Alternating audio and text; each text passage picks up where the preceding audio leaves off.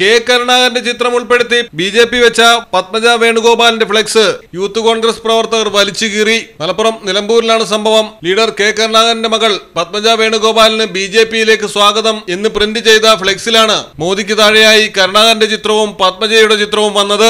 B J P Nilambur municipal കമ്മിറ്റിയാണ് flex വെച്ചിരുന്നത്.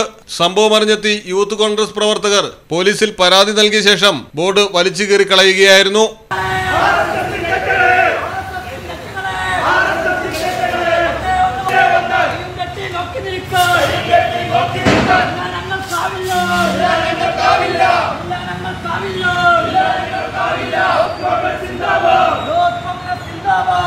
കോൺഗ്രസ് സിന്ദാബാദ് മലയാളം ടെലിവിഷൻ നിലമ്പൂർ